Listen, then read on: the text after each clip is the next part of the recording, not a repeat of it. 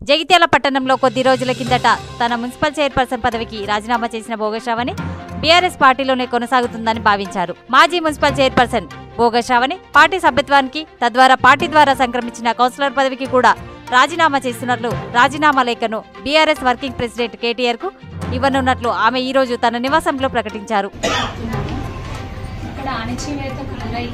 జనవరి ఇరవై ఐదో రోజున మన జగిత్యాల ఉద్యమ క్రియ ప్రాంతంలో ఏదైతే చీకటి రోజుగా చెప్పిన రాజీనామా చేశాను ఏడుస్తూ శ్రావణి అనే వ్యక్తి ఒక ఒక ఒక వ్యక్తి కాదు మొదటి వ్యక్తి కాదు చివరి వ్యక్తి కాదు.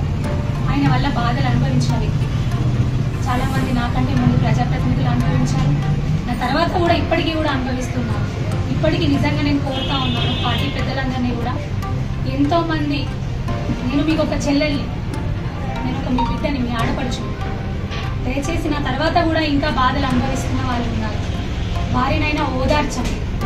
వారినైనా ప్రత్యక్షంగా ధైర్యం చెప్పండి. వారికైనా ఒక భరోసానివ్వండి అని నేను సందర్భంగా కోరుకుంటున్నాను.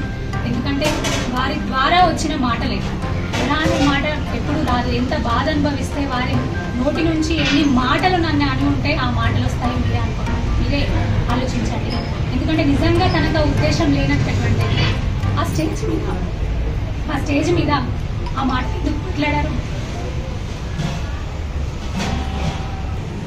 నేను రాజీనామా చేసిన ముందు దానికంటే రాజీనామా చేసిన తర్వాత ఎమ్మెల్యే గారి దగ్గర నుంచి వారి అంచెల దగ్గర నుంచి అనేక బాధలు బెదిరింపులు అనుభవించాను వేధింపులు అనుభవించాను. నేను మాత్రమే కాదు నా వెన్నంటి ఎవరైతే నా సహచరులు ఉన్నారో నా సపోర్టర్స్ ఉన్నారో వారందరికీ కూడా ఇప్పటికీ కూడా బెదిరింపు కాల్స్ వస్తున్నాయి రౌడ్ షీట్లు ఓపెన్ చేయిస్తామని నన్ను నా కుటుంబాన్ని అబాండాలు వేస్తూ ఎక్కడికక్కడ కూడా వీడియో క్లిప్పులు తయారు చేస్తూ ఫోటోలని తయారు చేస్తూ ఎడిట్ చేస్తూ అవమానకరంగా పోస్టులు పెట్టిస్తున్నారు చేపిస్తున్నారు.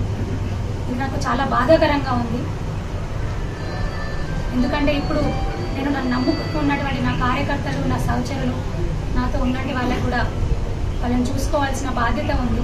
వాళ్ళకి ఏ విధమైన హాని జరగకుండా చూసుకోవాల్సిన బాధ్యత నా ముందు. అందుకోసం ఒక బాధాతప్త హృదయంతో ఈరోజు నా ప్రాథమిక పార్టీ సభ్యత్వానికి రాజీనామా చేయడం జరుగుతుంది. పోటీ చేస్తానని చెప్పలేదండి.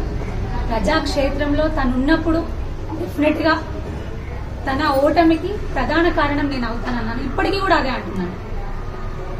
థ్యాంక్ యూ అన్న. థ్యాంక్ యూ వెరీ మచ్ మీ అందరి సపోర్ట్ ఎప్పుడు ఇలానే ఉండాలని కోరుకుంటున్నాను.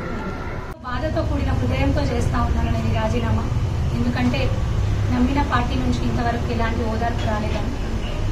పెద్దలందరికీ కూడా మరొక్కసారి పేరు పేరున హృదయపూర్వక ధన్యవాదాలు తెలియజేస్తున్నాను. గౌరవ ముఖ్యమంత్రి వారికి గౌరవ వీలైన అన్నగారు కేటీఆర్ అన్న గారికి కవితక్క గారికి తెలియజేస్తూ ప్రజలారా మీకోసం ఈ ఆడబిడ్డ ఎప్పటికీ మీతో పాటు ఉంటుంది. మీకోసం ఉంటుంది మీతోనే ఉంటుంది. ఏ చిన్న సమస్య ఎదురైనా మీకోసం పోరాడడానికి ఉంటుందని మరొక్కసారి తెలియజేస్తూ నమస్కారం